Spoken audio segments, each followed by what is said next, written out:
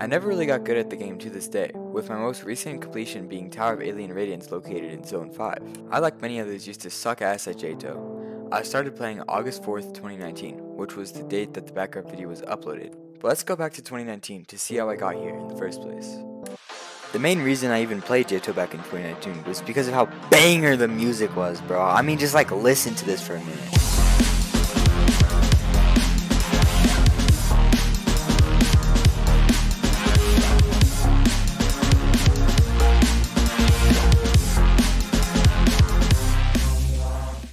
I never really spent much time on it. And during the Christmas event of 2019, I just kind of stopped playing for a couple of months. I picked the game back up shortly after COVID, and I started grinding Tower of Stress. And I got a little angry. I, I did not like the tower that much as I kept failing at like floor 5 and 6. After I beat Tower of Stress, I quit the game for another 9 months, and then when I came back, I decided to do Citadel laptop splitting, which, well, just just watch the video.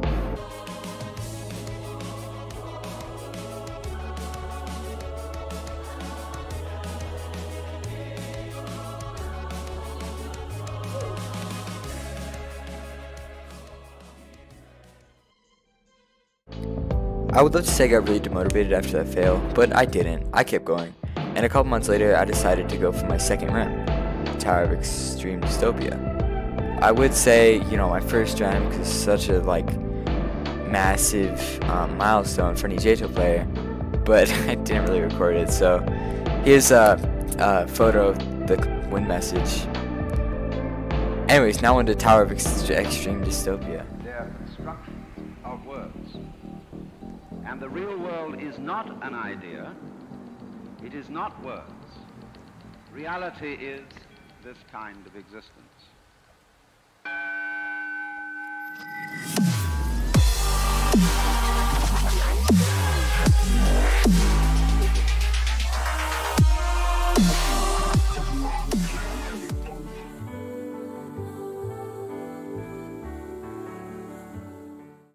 But my amazing luck doesn't end there.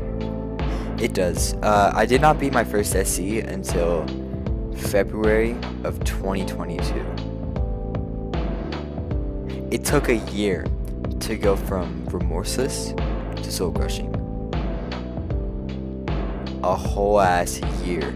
Shortly after my TODC completion, I started grinding Tower of Thinning Layers, and, well, I beat it after two months of non-stop grinding. It was probably, to this day, my most, like, oh my god, I did it, completion I've ever had. Because even, like, TOAR was like, cool. You know, I did it. Nice. And Poetato was like, holy shit, holy shit, I, I did this, I, ah, ah, oh my god. My next SC completion was in December 18th of 2022, and it was Tower of Double Trouble. I also did spend an hour and a half on Seaside, um, but hey, at least it's all recorded. For once in the nearly 5 years that I've been playing JToH, I felt unstoppable. On February 10th, 2023, I beat Tower of Inevitable Failure. And just two days later, I beat Tower of Adrenaline. My friend Pufferfishy was telling me to beat my first extreme, and I was like, I'll think about it. You know, I'll try it. So I had to try out Tower of Bloodthirsty Kinos to do as my first extreme. And, well, I didn't think I was ready, but after three days, I got to floor 8 with very little preparation or practice.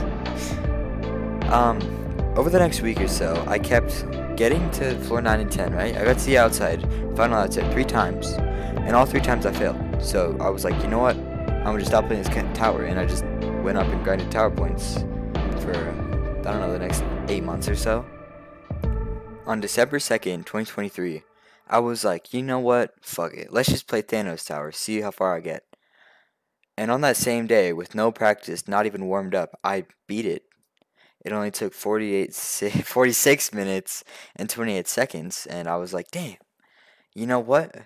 Maybe I should go for my first extreme.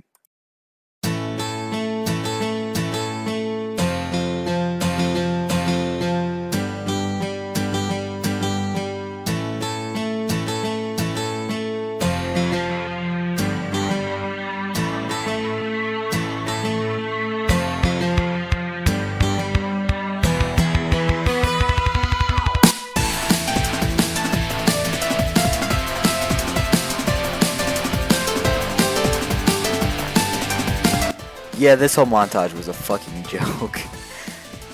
Uh, so this was recorded back when I was like, you know, failing and loop failing and stuff. Um, the actual reason I won was because Strawberry bet me five dollars that I could beat it in the next 24 hours, and I said, bet that. To a, like the next morning, beat it. Let's fucking go, guys. December 22nd, no, 21st, 2023 at 7 p.m. exactly, I beat my first extreme. All thanks to Stro. And, you know, he gave me, he said he was going to give me 5 Robux if I beat it, or $5 worth. He gave me 10. So, W Stro in the chat, guys, subscribe to that YouTube channel, alright? We fucking love him. On January 8th, 2024, I beat Tower of Terrifying Beauty, but no one cares about that, because that tower sucks. Just kidding. I had a really fun time with it, but I didn't record any footage besides one TikTok, but I'm not sharing my TikTok. So yeah, um, two extremes down, guys. A couple more to go. Let's get through this. Come on. It took 10 months to beat Thanos Tower after I beat Tower of High Gentleman. Guess how long it took between Tower of Terrifying Beauty and Tower of Helpless Hell? 11 days. Now, after I beat Tower of Helpless Hell, I was like, alright, you know, I think I'm ready to do my first Terrifying. But I didn't know what to do. I didn't really know what I wanted to do. And then Stro said something amazing. So, I decided to do TOR. Um, I was gonna do TOGF, but after putting a questionable amount of time into it. I was like, alright, alright, TOR. So I started playing Tower of the Alien and I started grinding it every day. I found the tower really fucking fun. And, you know, just about a month after I beat Tower of Helpless Hell, you know, I beat Tower of the Alien I was like, damn, you know, good ass tower. Mwah. Chef Kiss. Still, pro probably one of my favorite towers to this day. Although it hasn't been long since I beat it. As of today, March 21st, 2024, I am grinding Tower of Augmented Misery. And, well, uh, I've had some pretty good luck so far. It only took me like four days to get to floor 8, which is very nice progress. Uh, but here's a fail I had on floor 8 outside, which is also my personal best.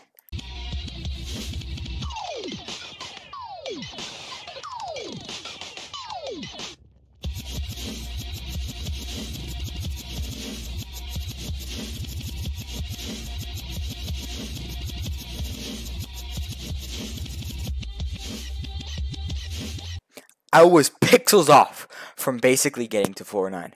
Pixels. But my dumbass decided to hold W and D on a flat wall. Which, well,